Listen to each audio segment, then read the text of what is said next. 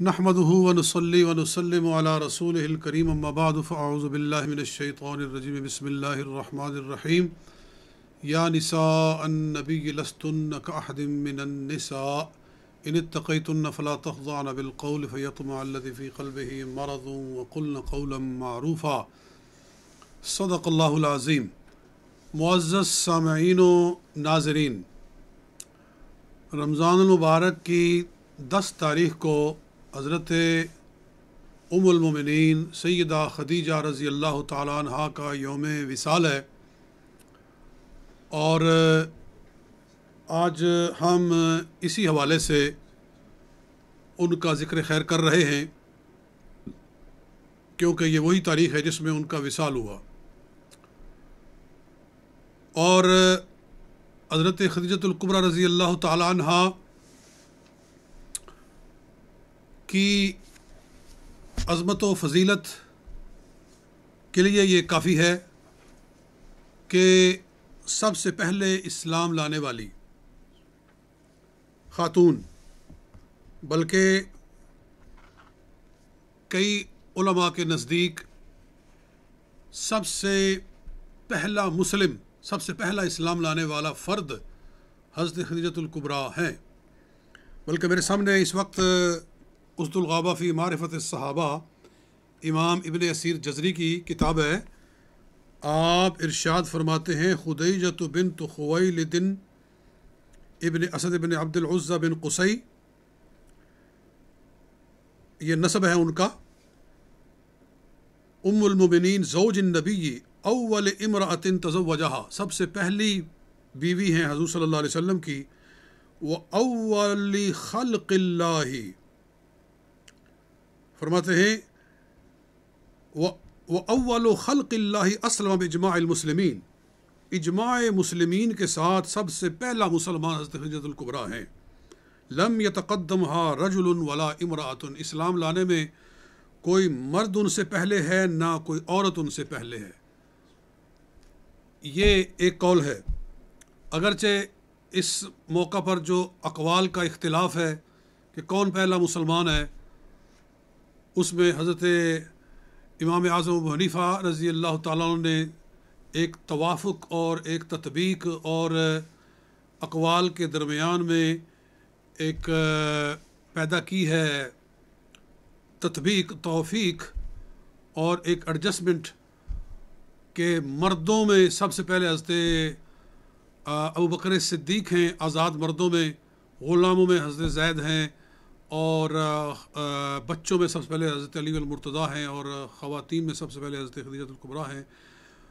مگر اگر آپ غور کریں تو حالات و واقعات بتاتے ہیں کہ سب سے پہلے حضور صلی اللہ علیہ وسلم نے حضرت خدیجۃ القبرا ہی کو اپنی نبوت سے آگاہ فرمایا تھا۔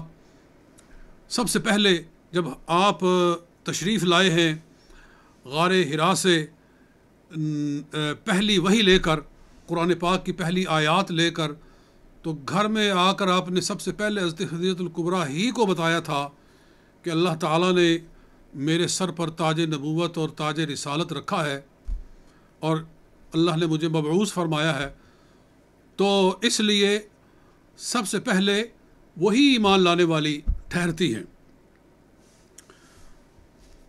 حضرت خجد القبرہ رضی اللہ تعالیٰ عنہ کے ساتھ حضور علیہ السلاۃ والسلام نے شادی فرمائی تھی جب پیارے آقا صلی اللہ علیہ وسلم کی عمر مبارک پچیس برس تھی۔ آپ مکہ شریف میں الصادق الامین کے نام سے معروف تھے۔ ہر بندہ آپ کی صداقت و امانت، سچائی، دیانت، پاک دامنی کا معترف تھا۔ حضرت خجد القبرہ کو اللہ تعالیٰ نے بہت سارا مال دیا تھا۔ اور آپ لوگوں کو مال دے کر بھیجتی تھی تجارت کے لیے شام اور یمن اور دیگر ممالک میں، اور وہ اکثر غبن کر کے آتے تھے۔ کہتے تھے جی گھاٹا ہو گیا ہے۔ نقصان ہو گیا بجائے تجارت میں فائدہ ہونے کے وہ مال کھاتے تھے۔ جب حضرت خدیجۃ القبرا کو پتہ چلا کہ حضرت رسول اکرم صلی اللہ علیہ وسلم، جناب محمد الرسول اللہ سے بڑھ کر کوئی سچا نہیں، ان سے بڑھ کر کوئی امین نہیں، ان سے بڑھ کر کوئی دیانتدار نہیں تو انہوں نے حضور صلی اللہ علیہ وسلم کو پیغام بھیجا کہ اگر آپ میرا مال لے کر جائیں تجارت کے لیے تو لوگوں کو جو میں دیتی ہوں، اس میں مارجن اور جو حصہ دیتی ہوں، آپ کو اس سے ڈبل میں دوں گی۔ تو آپ میرا مال لے کر جائیں۔ تو حضور صلی اللہ علیہ وآلہ وسلم آپ کا مال لے کر، حضرت خدیجۃ القبرہ کا مال لے کر شام گئے اور تجارت فرمائی۔ اور جتنا نفع وہ پہلے لوگ لے کر آتے تھے، اس سے کئی گنا نفع لے کر حضور تشریف لائے۔ اور پھر حضرت خدیجہ کا غلام تھا میسرا وہ ساتھ تھا میسرا وہ حضور کی خدمت کے لیے ساتھ تھا اور مال کے رکھنے، اٹھانے میں اور دیگر حضور علیہ صلاۃ السلام کی سواری کے کی کیئر کرنے میں وہ ساتھ ساتھ تھا۔ اس نے عجیب و غریب کرشمے دیکھے، ارحاسات دیکھے۔ ان کو معجزات نہیں کہتے، اعلان نبوت سے پہلے۔ اللہ تعالیٰ کی طرف سے قدرت کے نشانات حضور صلی اللہ علیہ وسلم کی ذات سے ظاہر ہوتے تھے، ان کو ارحاسات کہتے ہیں۔ تو کیا ہوا؟ میسرا نے دیکھا کہ ایک بدلی سایہ کرتی ہے۔ حضور علیہ السلاۃ والسلام جب سفر کرتے ہیں، تو گرمی کے اندر اور دھوپ کے اندر ایک بدلی آپ کے اوپر سایہ کرتی تھی۔ وہ بھی اس نے آ کر بتایا حضرت خدیجت القبرہ کو۔ اور پھر اس نے یہ بھی بتایا کہ جب ہم بصرہ پہنچے، تو وہاں ایک راہب تھا جس کا نام تھا نستورہ تو کے ساتھ۔ اس نے جب حضور علیہ السلاۃ والسلام کو دیکھا تو کہنے لگا کہ واللہ یہ وہی شخص ہے جس کو آخری نبی کے طور پر مبعوث کیا جانے والا ہے۔ اور اس نے کہا کہ یہود سے بچاؤ، کہ یہود کہیں نقصان نہ پہنچائیں ان کو۔ تو یہ سارے واقعات اس نے دیکھے اور آ کر حضرت خدیجت القبرا کو بتائے کہ راہب نستورہ نے بتایا کہ ان کے سر پر تاج نبوت رکھا جانے والا ہے اور بدلی ان کے اوپر سایہ کرتی تھی۔ اور دیگر جو اس نے نشانات دیکھے، تو حضرت خدیجت القبرا کے دل میں اتنی محبت داخل ہوگی رسول اللہ صلی اللہ علیہ وسلم کے لیے کہ انہوں نے فیصلہ کیا کہ مجھے آپ کے ساتھ شادی کرنی چاہیے۔ ان کے شوہر فوت ہو گئے تھے، وہ بیوہ تھیں اور وہ چاہتی تھی کہ مجھے کوئی سہارا ملے، مجھے کوئی زندگی کا ساتھی ملے جو کہ امین ہو دیانت دار ہو اور پاکیزہ صفات ہو۔ تو حضور علیہ السلاۃ والسلام سے بڑھ کر انہیں کوئی شخص پھر نظر نہ آیا اور انہوں نے پیغام بھیجا۔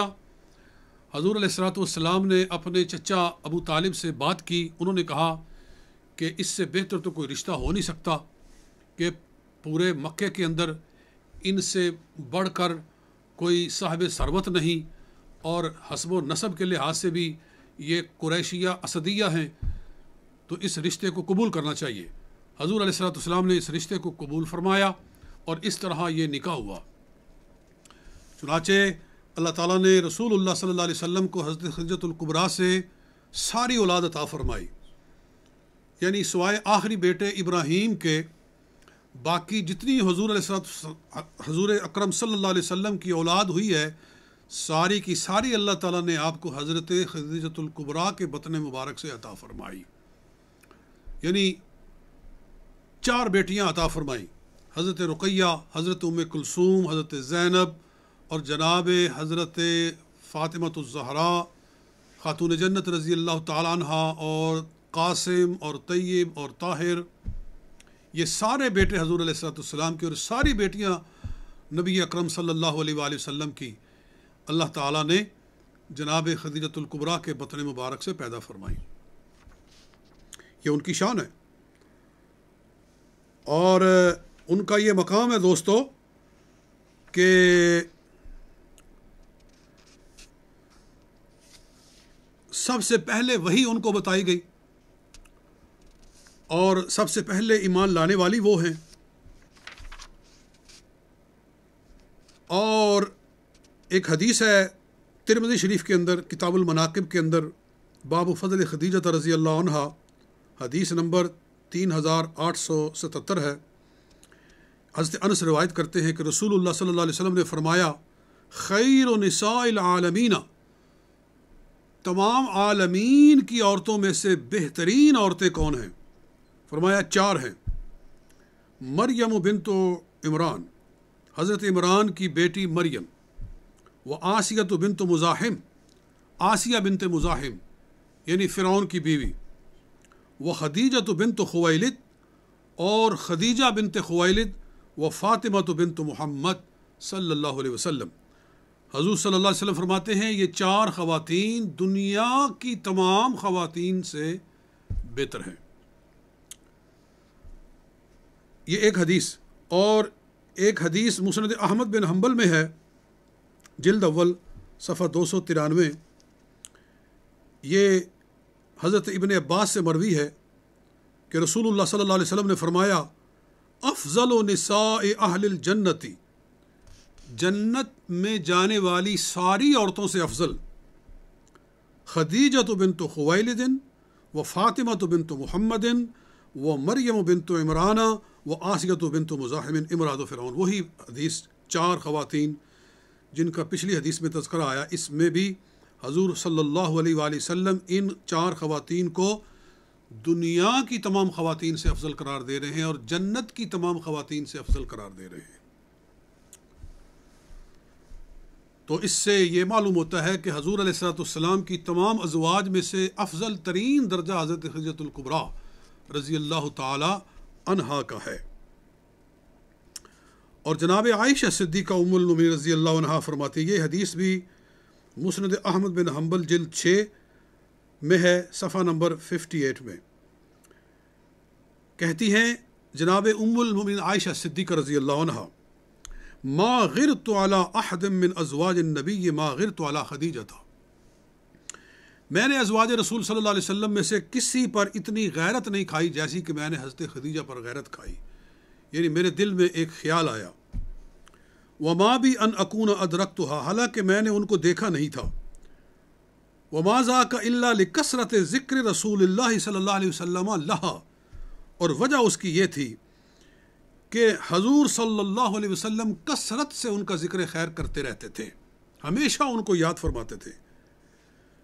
وہ ان کا نا مما تز بہشات اور جب بھی حضور صلی اللہ علیہ وسلم کے ہاں کوئی جانور ذبح کیا جاتا یت طب صدا اک خدیجہ تھا فیوہ دیا لہنہ تو حضور علیہ السلاۃ والسلام جناب خدیجت القبرا کی سہیلیوں کو اس میں سے حصہ بھیجتے تھے۔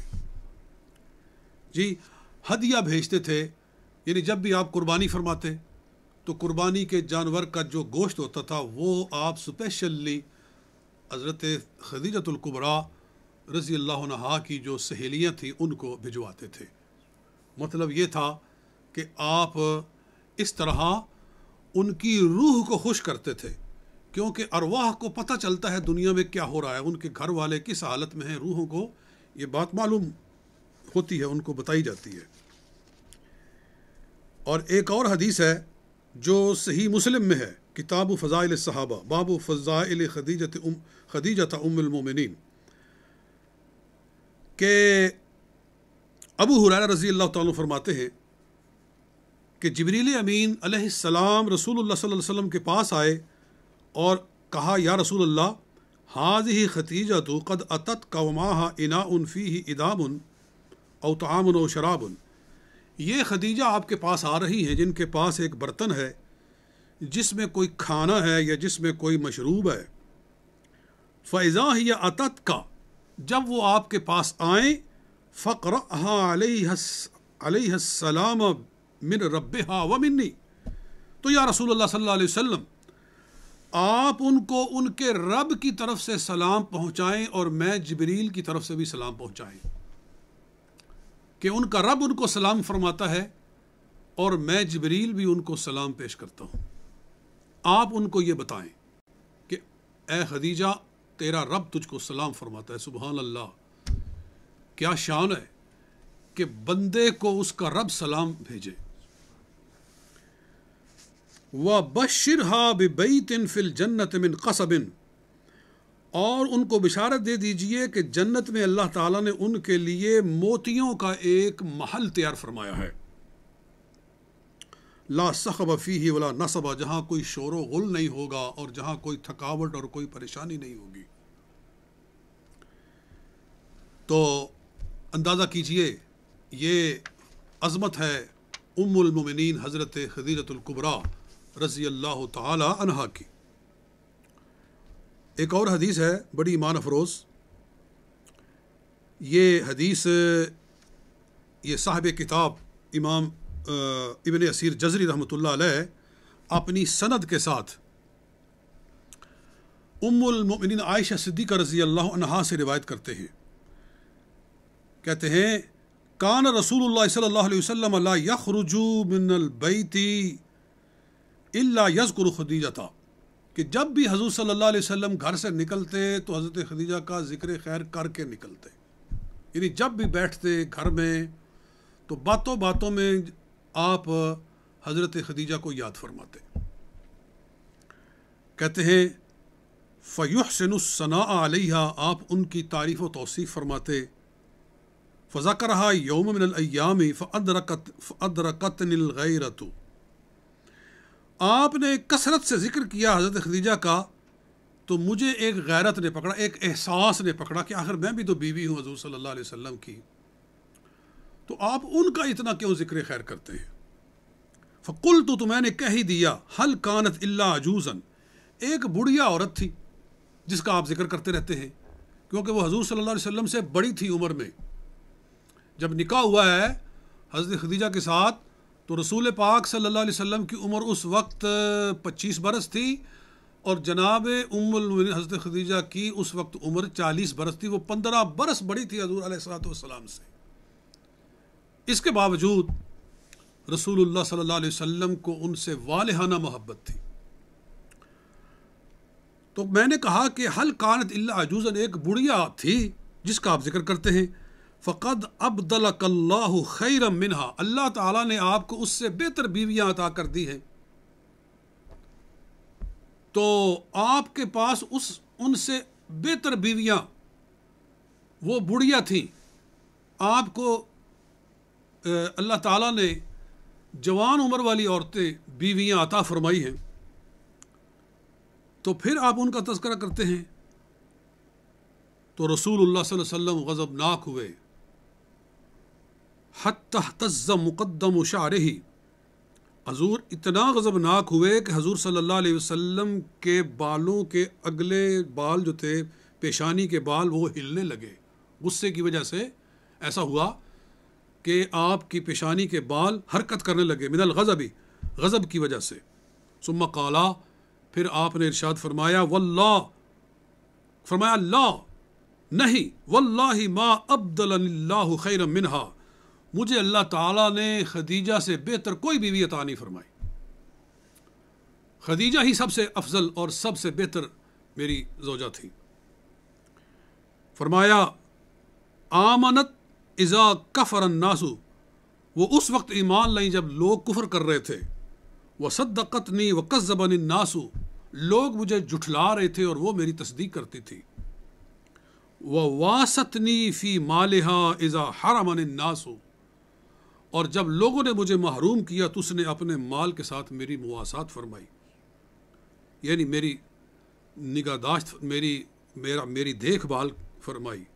وہ رضقن اللہ منہا اولادن اور اللہ تعالیٰ نے مجھے اس سے اولاد عطا فرمائی۔ از حرمنی اولاد الناس، اولاد النسائی جبکہ باقی بیویوں سے اللہ تعالیٰ نے مجھے اولاد نہ دی اور ان سے اولاد عطا فرمائی۔ قالت عائشہ جناب ام المن عائشہ فرماتی ہیں فقل فی نفسی تب میں نے اپنے دل میں تہیہ کیا کہ لا از کرو لا از کرو ہا بسیت ابداً، آئندہ میں ان کے بارے میں ایسی بات بالکل نہیں کہوں گی۔ کبھی بھی میں ان کے بارے میں کوئی ایسی بات نہیں کہوں گی جو رسول اللہ صلی اللہ علیہ وسلم کو پسند نہ ہو۔ تو یہ ہے عظمت حضرت خدیجہ رضی اللہ تعالی عنہا کی۔ اللہ اللہ۔ اور پھر آپ یہ دیکھیے کہ جب ان کا وصال ہوتا ہے، تو رسول اللہ صلی اللہ علیہ وسلم اس سال کو عام الحزن کا نام دیتے ہیں، کیونکہ آپ کے شفیق چچا ابو طالب اور حضرت خدیجۃ القبر رضی اللہ تعالی عنہا دونوں چند دنوں کے فرق کے ساتھ فوت ہو گئے۔ گویا دو شفیق ترین ہستیاں دنیا سے اٹھ گئیں، حضور صلی اللہ علیہ وسلم سے محبت کرنے والی۔ تو آپ نے اس سال کو عام الحزن کا نام دیا اور آپ اکثر ان کو یاد فرماتے ہی رہتے، جیسے کہ آپ نے پیچھے احادیث مبارکہ سن لی ہے۔ تو احکم الحاکمین ہمیں ان کی روز قیامت شفاعت نصیب فرمائے۔ تمام ازواج رسول صلی اللہ علیہ وآلہ وسلم کی ہمیں سچی پکی عقیدت اور توظیم تعظیم و تکریم عطا فرمائے اور ہمیں روز قیامت اہل بیت کی شفاعت سے بہرور فرمائے۔ وہ آخر دعوانا ان الحمد للہ رب العالمین۔